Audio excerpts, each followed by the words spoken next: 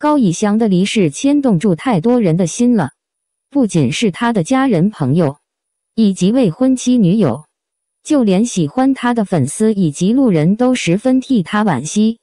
很多路人都纷纷表示，自己才刚刚成为他的粉丝，可惜就已经与他天人永隔了。或许，在这个世界上，我们永远都不知道意外和未来究竟哪一个会先到来。他在生前，无论是在圈内还是在圈外，一直都有住超好的人缘。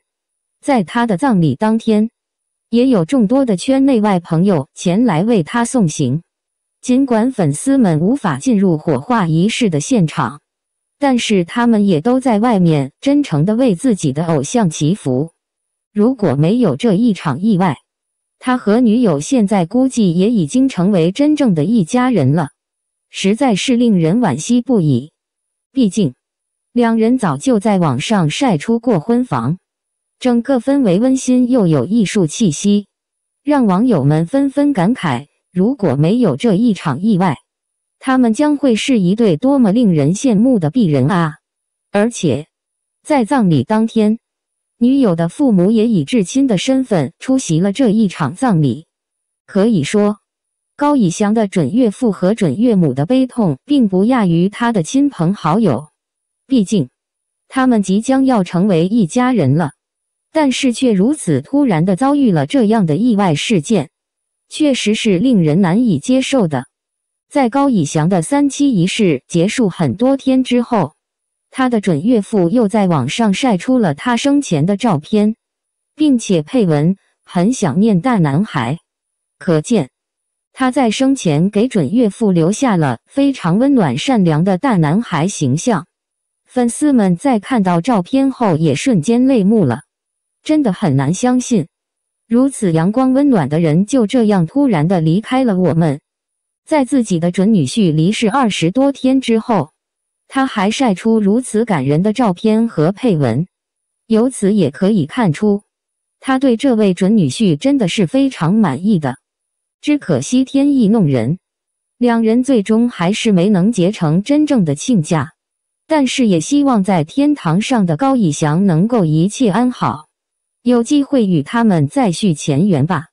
阅读更多新闻，高以翔墓园效果图一曝光，总造价约四千万台币，将参考邓丽君墓地。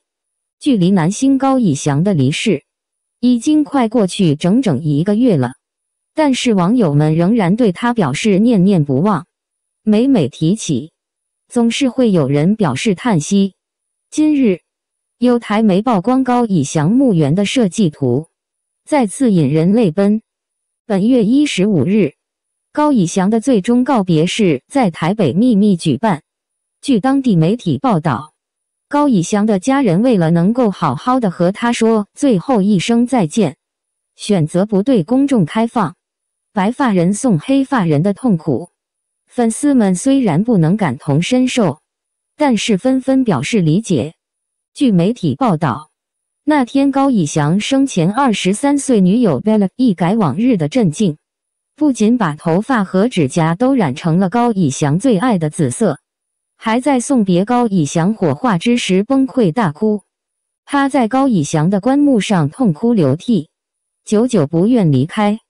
最后，助理和工作人员拉开他，Bella 再次抱住自己的朋友痛苦，随后蹲到地上抱头痛哭。然而，让人感动的是，善良的高以翔家人还体谅到粉丝们的心痛，声称会为高以翔建造一个单独的开放墓园，此举也可以不打扰其他故人。而在一十二月二十一日，有媒体曝光了高以翔的墓园设计图。整体造价恐超四千万台币。从媒体曝光的墓园效果图上来看，高以翔爸爸妈妈选择了一块很传统的设计，看起来感觉环境清幽，四周被绿植围绕，算得上是金宝山里的风水宝地。据台媒报道还称，把这个地方拿出来专门提供给高以翔，也是园方的一片心意。因为除了环境的因素之外，这片墓园的很多基础建设都已经早就建好，做些小修小补，就能让高以翔尽快的入土为安。台湾媒体同时透露，由于高爸高妈想要参考故人邓丽君的墓园来给儿子建造，所以恐怕花费要超过四千万台币。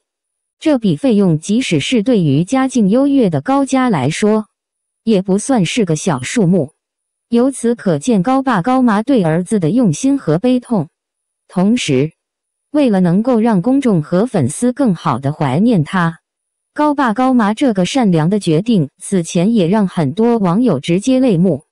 如今，墓园设计图已经初步确定，但是建设应该还未动工，具体完工时间尚不可知。